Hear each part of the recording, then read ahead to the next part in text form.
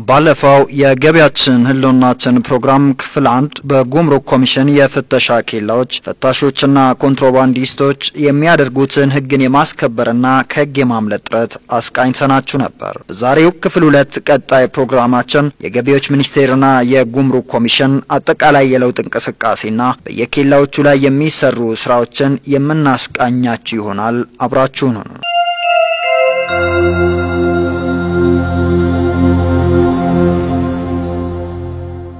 እነኛ አካላት በሰዓት የተገደበ ስራ የላቸውም። ሳምንቱን ሙሉ ለ24 ሰዓት ከሌባ ጋር ይፋለማሉ። በስራ አጋጣሚም በርካታ ገጠመኞች እንዳሏቸው ያነሳሉ። የተለያዩ መኪኖች እኛ ለመሸወድ ይሞክራሉ። በዚህ ሌላ ባዶ መኪና ይልካሉ። በሌላ ቦታ ደግሞ ጭኖ ጭነት የያዙት እኛ ባዶ ስንከተል ጭነት የያዙ እነዛ ነገሮች ብዛት ጊዜ አጋጥሞናል። እኛ ደግሞ በእነሱ ተቃራኒ ነው ምሮጥ በበረሃ ምሮጥ ትተን ዝም ብለው ከመንገድ የሚሄድ ነው እና እንደዛ ስትል፣ ሁለተኛ በገንዘብ ዝውውሩ ጫማ ውስጥ ይሰፋል። በጣም አስቸጋሪነቱ በረቀቅ የሚሰሩበት በጫማቸው ሲሰፍቶ በስሊፐር ውስጥ አይታችሁ ከሆነ በስሊፐር ውስጥ ዶላር ሰፍቶ ይህ ሁሉ በሰራዊቱ ጥረት ነው። ሰራዊቱ ሁሉ እየተከታተለ በጉምሩክ ሰራተኛ እየጠቁሙ እየፈተሹ እና እነዚህ አይነት ነገሮች በጣም ያጋጥሙናል። ኮንትሮባንድ ማለት በሀገራችን በጣም ጠንቅ የተለያዩ መድኃኒቶች አሉ። expired የሆኑ ብስኩቶች አሉ፣ ጁሶች አሉ። እነዚህ ወደ ሀገራችን ገብቶ ጤና ላይ ጠንቅ ስለሚሆን እሱ ከመከታተል ጠንክረን እያሰራ አንደኛ ህዝቡ ሁሉ ለሀገር ብሎ ለኮንትሮባንዲስቶች ሁሉም ጥብቅና ቆሞ መከላከል ያስፈልጋል። ለምን ብትል አብዛኛው ከሀገራችን ውስጥ የሚወጣው ዶላር ከወጣል ለህዝቡ ለሀገራችን ኢኮኖሚ ነው። ሁለተኛ የሚገቡ መድኃኒቶች ለህዝቡ ጤና ላይ በጣም ከፍተኛ ስለሚሆን ህዝቡ የሁሉ ተገንዝቦ ኮንትሮባንዲስቶች ለመከላከል ከኛ ጋር በመሆን እንዲተባበሩን ማለት ያሳስባል። ሀገሬን እወዳለሁ፣ ግዴታዬን እወጣለሁ። ሀገሬን እወዳለሁ፣ ግዴታዬን እወጣለሁ። አዎ ቅርንጫፍ ጽሕፈት ቤታችን ሶስት አበይት ስራዎችን ያከናውናል። አንደኛው የኮንትሮባንድ መከላከል ስራ ነው። ሁለተኛው ኤክስፖርት የሀገር ምርቶችን ኤክስፖርት በማድረግ የውጭ ምንዛሪ መሰብሰብ፣ ሶስተኛው ደግሞ ከቀረጥና ታክስ የሚገኘውን ገቢ በስፋት መሰብሰብ ነው። ከዚህ ውስጥ አሁን የምንገኝበት ቦታ በአብዛኛው የኮንትሮባንድ እንቅስቃሴ የሚደረግበት ተጎጫሌ የሚባል ቦታ ነው። በአካል እንደምታዩት እዚህ ፊት ለፊት ከዋርካው ወደዚህ የኢትዮጵያ ግዛት ነው ከዋርካ ወደዛ ደግሞ የሶማሊያን ግዛት ነውና በዚህ አካባቢ ከፍተኛ ውጤት ያስመዘገብንበት የህገወጥ የገንዘብ ዝውውር፣ ሌሎች ለሀገርና ሕዝብ ከፍተኛ ጉዳት የሚያደርሱ የኮንትሮባንድ እቃዎችን control የምናደርግበትና የምንይዝበት አካባቢ ነው። ኮንትሮባንድ የሁሉንም ህይወት በቀጥታም ሆነ በተዘዋዋሪ የሚነካ በመሆኑ ሁሉም ሊታገለው እንደሚገባም አንስተዋል። የሰራተኛችንም commitment በከፍተኛ ሁኔታ የተነሳሳበት ሁኔታ ነው ያለው። በቅርቡ ሀገርና መንግስት እንደሚያውቁት ከፍተኛ ዋጋ ያላቸው እስከ 7 ኪሎ ግራም የሚደርስና ምንዛሪያቸው እስከ 60 ሚሊዮን ብር የሚደርስ የውጭ ሀገር ገንዘቦች ከዚህ አካባቢ ሲወጡ የተያዙበት ሁኔታ ነው ያለው። ይህ ብቻ አይደለም። ኮንትሮባንዲስቶች በጫማቸው በአካላቸው ውስጥ የተለያየ አይነት ሀገራት ገንዘብ እየደበቁ የሚያስወጡበት ሁኔታ ነው እና ያለው እነዚህን ነገሮች ያዝናቸው በምንልበት ወቅት completely ኮንትሮባንዱን ቀነስ ነው እያልን አይደለም ያለ ነው። ፍሰቱ በጣም high ነው። የኛው ግን ሰራተኛው committed ሆኗል። በአሁኑ ሰዓት ተቋሙም ራሱ ሚኒስቴር መስሪያ ቤቱም ኮሚሽኑም በአካል እስከዚህ ድረስ ከፍተኛ አመራሮች ተገኝተው እውቅና መስጠታቸው ጭምርና የተለያዩ ሽልማቶችን መስጠት መቻላቸው የመያዝ አቅማችን እንዲነሳሳ በኮንትሮባንድ ላይ የበላይ መሆን የምንችልበትን አይነት ሁኔታ መፍጠር የተቻለበት ሁኔታ ነው ያለው። በጣም ከምንደነቅበት ነገር አሁን አሁን በቅርብ ጊዜ ኮንትሮባንድ ህገወጥ ገንዘቦችን በ wallet በቦርሳ ውስጥ በተለያየ አይነት ቦታዎች ነበር ፕላን አድርገን ሲያዙ የምንይዛቸው በዛ አይነት condition ነበር። አሁን ግን በተለየ አይነት ሁኔታ that means እኛ የመያዝ አቅማችንና የቁጥጥር አድማሳችን በሰፋ ቁጥር ኮንትሮባንዲስቶች ደግሞ የሚደብቁበት area በጣም እየረቀቀ እየገነነ የሚመጣበት አይነት ሁኔታ ቀድሞ እዚህ በፓንታቸው ውስጥ በመሳሰለው ውስጥ የሚደበቀው ዛሬ የጫማ sole ተገንጥሎ የጫማ ውስጥ ሁሉ እየተደበቀ የሚገኝበት አይነት ሁኔታ ነው ያለው። ያኛውን ባለፈው አሁን በቅርብ ጊዜ የተያዘው ያ ሁሉ የውጭ ምንዛሪና ሰባት ኪሎ ግራም ወርቅ ማንም በማይጠረጥርበት ሁኔታ በስኮርት ጎማ ውስጥ ተደብቆ የሚወጣበት አይነት ሁኔታ ነው እና ያለው አሁንም እንግዲህ ከነዚህ ነገሮች እየተማርን የቁጥጥር የፍተሻ አድማሳችንን እያሰፋን ተቋሙ አሁን scanning machine ም ተክሏል። በነዛ በነዛ አይነት ሁኔታዎች ተረድተን ኮንትሮባንዲስቶች ምንም ባህሪያቸውን ቢቀያይሩ ከኛ ማምለጥ የማይችሉ መሆናቸውን ሰራተኛችንም በዚህ አይነት ቁርጠኝነት የተነሳበት ሁኔታ መኖሩን መግለጽ እፈልጋለሁ። ሀገሬን እወዳለሁ፣ ግዴታዬን እወጣለሁ። ሀገሬን እወዳለሁ፣ ግዴታዬን እወጣለሁ።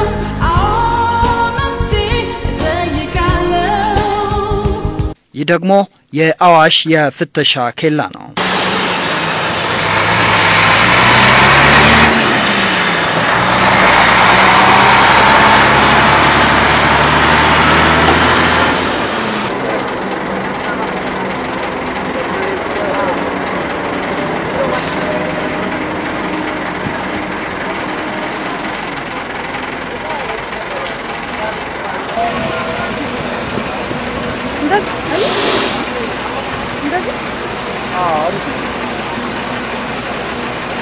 በዚህ ጠራራ ፀሐይ በዚህ በረሃ ውስጥም ፈታሾችና የኮንትሮባንድ ሌቦች ፍጥጫ ላይ ናቸው።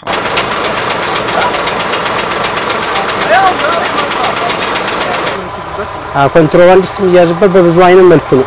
ያው ስራው አሰልችም ቢሆን ተቋቁመህ የምታይበት የራስ ሳይኮሎጂ አለ፣ የምትከተለው ሳይኮሎጂ የሰውየውም ማለት ነው። የኮንትሮባንዲስቱ መቅበዝበዝ ይኖራል። ብዙ አይነት act ኦች አሉ። እነዛን በመከታተል የራሳችን ፍተሻ ይካሄዳል። በዛ መልኩ ነው የምናካሄደው የምናገኘው ማለት ነው። ግማሹ እዛ ግብር ከፍሎ ለሀገር ገቢ በሚያስገባበት ጊዜ ኮንትሮባንዲስት ደግሞ የታወቀ ነው። ኮንትሮባንዲስት ሲባል ማትረፉ ብቻ አይደለም፣ side effect ም ያሉት ነገሮች የሚገቡበት ሁኔታ አለ። በኮንትሮባንድ የሚገቡ እቃዎች ሙሉ በሙሉ ጤናማ አይደሉም። ከገንዘብ ሰው ገንዘቡ ላይ ነው ትኩረት የሚያደርገው። ነገር ግን ህጋዊ ሲሆን አንደኛ ለሀገርም ግንባታ ብዙ ገቢ በማስገባት የተሻለ እድገት ይመጣል። ሁለተኛ ደግሞ የምንጠቀመው እቃ ጤናማና ለህብረተሰብ የማይጎዳ ከመሆኑ አንጻር ህብረተሰቡም ሊያጋልጥ ይገባል። እኛም ጠንክረን ያው በመስራት የሀገራችንን ለውጥ ለማምጣት ጥረት እናደርጋለን።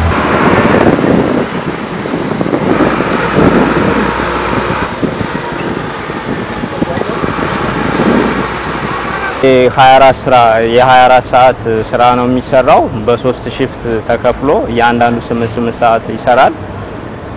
ስራው ከሁለት አቅጣጫ ነው የሚመጣው። አንድ ከሀረር ድሬዳዋ መስመር የሚመጡ ተሽከርካሪዎች አሉ። ሁለት ከጅቡቲ በአዋሽ በሚሌ አድርጎ የሚመጣ አለ። እሱን እንግዲህ ከሁለቱም አቅጣጫ መጥተው የሚገናኙበት አዋሽ መቅረጫ ጣቢያ ነው።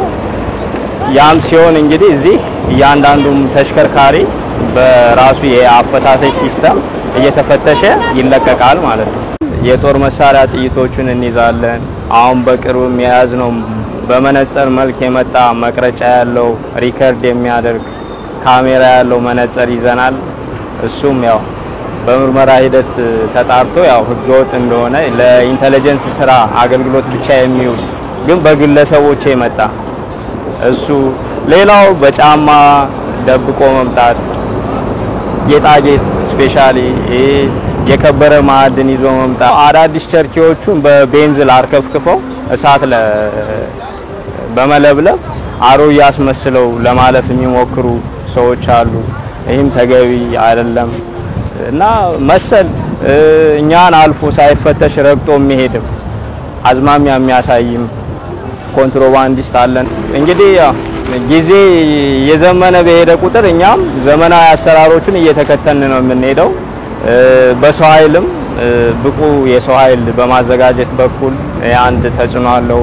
ሁለተኛ ይህ እንደምታየው ግቢው አዲስ ግቢ ነው። ድሮ በውጭ ነበር የሚሰራውና በሚጨናነቅበት ወቅት ረግጦ የሚያልፍ የኮንትሮባንዲስት እቃ ነበር። አሁን ግን ቅጥር ግቢ ተዘጋጅቶለት ሁሉም በዚህ ነው የሚገባው። ያም ነገር ስለተከላከልን ረግጦ የማለፍ አዝማሚያውም ስለቆመ በዛ ላይ አዳዲስ አሰራሮቹንም እየተገበርን ነው። ሚሌ ላይ ተጀምሯል። የኢሲኤምኤስ ሰነድ የማረጋገጥ በ ECMS እዚህም ይመጣል። በ barcode ከጅቡቲ የሚገቡ እቃዎቹን በ barcode በ ECMS check እናደርጋለን። የኮንትሮባንድ ቁጥጥሩ ተጠናክሮ ቀጥሏል። እንግዲህ እንደሚታወቀው ከዚህ በፊት የኬላው አቀማመጥ በውጭ ላይ ነበር የሚፈተሸው። ይሄ የምታዩት ግንባታ አልተገነባም ነበረ። ይሄ በመገንባቱ ምክንያት አንደኛ በስነ ስርዓት ከጅቡቲም ከድሬዳዋም ከሀረርም ከጂጂጋም የሚመጣ በሁለቱም ኮሪደር የሚመጣ ጭነት ሙሉ በሙሉ እዚህ ውስጥ ከገባ በኋላ ሰላማዊ የሆነ የፍተሻ ስራ ማንም ሰው በነጻነት ስራውን እንዲያከናውን ያስደረገ የግንባታ ስራ ነው የተገነባው። እዚህ ውስጥ መፈተሹ አንዱ መልካም ጎኑ ሆኖ ነው ያደርገኘ ነው። በፊት እንደምታየው በጣም ምቹ ያልሆነ ቦታ ላይ ነበር ፍተሻ የምንፈትሽ። እንደ አዋሽ ኬላ በጣም ከፍተኛ መጠን ያለው የኮንትሮባንድ ፍሰት ያለበት ቦታ ነው። በጫካም በኬላም የሚመጣው የኮንትሮባንድ መጠን ከፍተኛ ስለሆነ የተጠናከረ ፍተሻ ነው የሚደረገው። ማንኛውም መኪና እዚህ ውስጥ ከገባ በኋላ በጥንቃቄ ፈታሾች ፈትሸውት በፈታሾች ተፈትሾ በውጭ ላይ መውጫ በር ላይ በኢንስፔክተር ተረጋግጦ ነው የሚወጣውና ሪፎርሙንም በተመለከተ ሁሉም ሰው ከሪፎርሙም በኋላ በተሻለ ሀገራዊ ስሜት፣ በየኔነት ስሜት፣ በኃላፊነት ስሜት ስራቸውን እያከናወኑ ነው ሰራተኞቹ። እንደምታዩት ምቹ አይደለም ቦታው። ነገር ግን ይህ ምቹ ያልሆነ ቦታም በጣም ፀሐይ ሙቀት መጨመር ያለበት ቦታ ነው። እዚህ ቦታ ላይ ይህን ሁሉ ተቋቁመው ስራቸውን እየሰሩ ነው ያለውበት መንገድ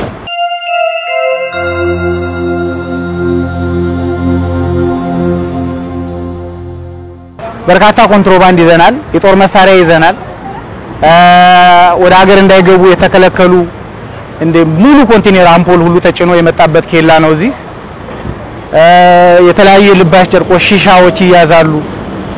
በጣም መጠኑ ከፍተኛ የሆነ በየቀኑ በሀገር ውስጥ ከሚንቀሳቀሱ የአይሱዙ FSR ጭነቶችም ላይ ይያዛል።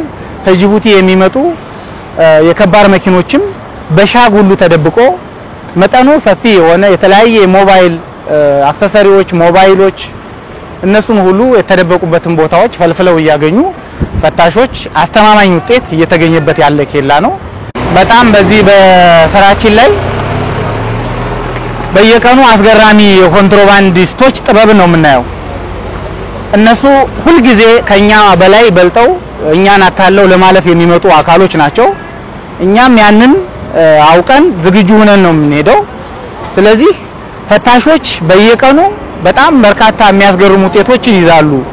ለማየት የሚከ- የሚከብድ በግሪስ የተሸፈነ መኪና ተቀዶ ስፖንዳው ተቀዶ እዛ ውስጥ የተደበቀ ግሪስ ፈልፍለው የሚያገኙ ፈታሾች አሉ። እዚህ ላይ አሁን ለምሳሌ ምሳሌ ብነግርህ መጠኑ ወደ 8 ሚሊዮን የሚሆን ሞባይል ይዘናል እዚህ ቦታ ላይ ማለት ነው። ያም ተደብቆ የተገኘ ነው። በየዕለቱ በየአካባቢውም የተለያዩ የኮንትሮባንድ ዕቃዎች ተይዘው በቀጥታ ለመንግስት ገቢ የሚሆኑት ገቢ ሆነው ሌሎቹ ደግሞ ወደ ብሔራዊ ባንክ ይገባሉ።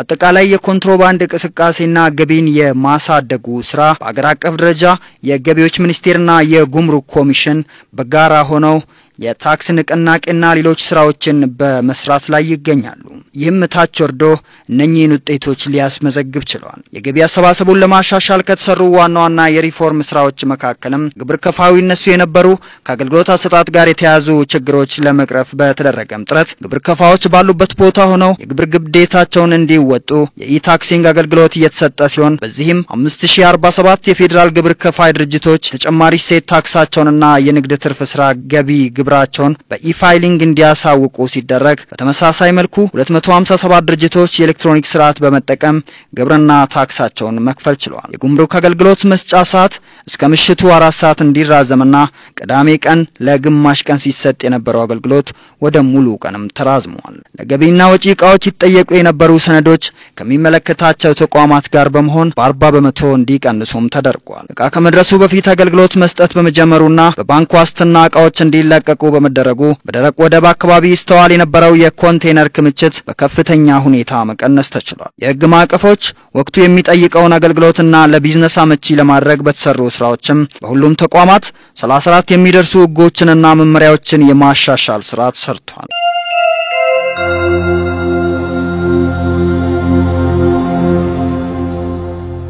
የጉምሩክ መቆጣጠሪያ ጣቢያዎች እንደ አዲስ እንዲደራጁ በመደረጉ የኮንትሮባንድን የመያዝ አቅሙ ሊያድግ ችሏል። በአንድ ዓመት ውስጥ ብቻ 1.3 ቢሊዮን ብር የሚገመት የኮንትሮባንድ ዕቃ በቁጥጥር ስር ውለዋል። የሕግ ማስከበር ስራዎችም ደረሰኝ የማይቆርጡ 135 ጅምላ አከፋፋዮችና ትላልቅ የንግድ ድርጅቶች ላይ የኦፕሬሽን ስራ በመስራት 198 ግለሰቦች ተይዘዋል። 6 ቢሊዮን ብር ዋጋ ያላቸው የውሸት ግብይቶች የተፈጸመባቸው ድርጅቶች ላይም እርምጃ ተወስዷል። ባለፉት 9 ወራትም 145.75 ቢሊዮን ብር ወይም የእቅዱን 80.87 በመቶ መሰብሰብ ተችሏል። አፈጻጸሙም ካለፈው ዓመት ተመሳሳይ ወቅት ጋር ሲነጻጸር የ12.13 ቢሊዮን ብር እድገት አሳይቷል። ከዚህ በተጨማሪም ባለፉት 9 ወራት ከውዝፍ ዕዳ 13.94 ቢሊዮን ብር መሰብሰብ ተችሏል። የሌብነት መረብን ለመበጣጠስ በተሰራው ስራም የሰራተኞች ድልድል በአዲስ መዋቅር ለመደልደል በመቻሉ ስራና ሰራተኛን በማገናኘት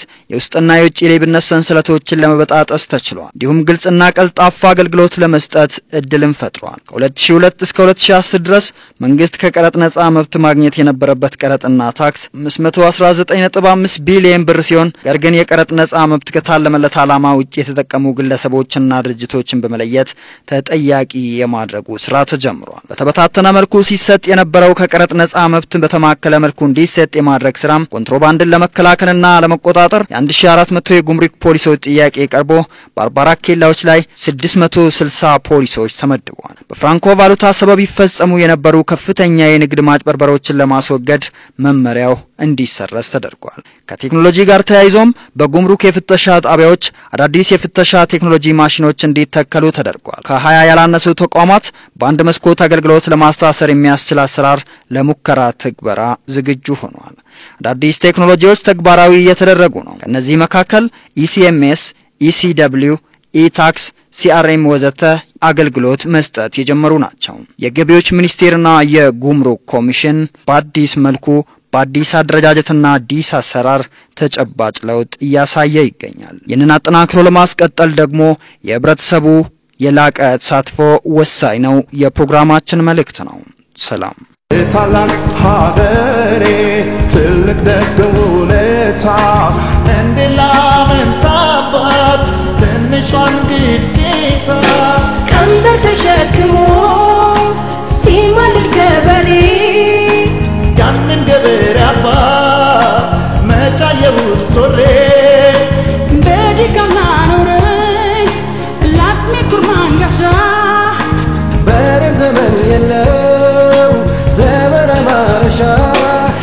ያቺ ምስኪን እናት ግን ወላዲቱ።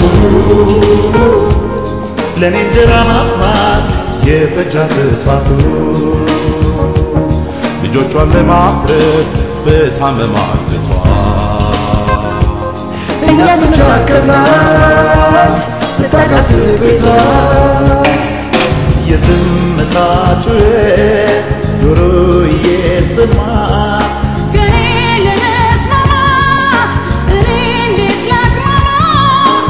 የዝምታ ጩኸት ጆሮ እየሰማ ከኔ ለመስማማት እኔ እንዴት ላቅማማ? ሀገሬን እወዳለሁ ግዴታዬን እወጣለሁ ሀገሬን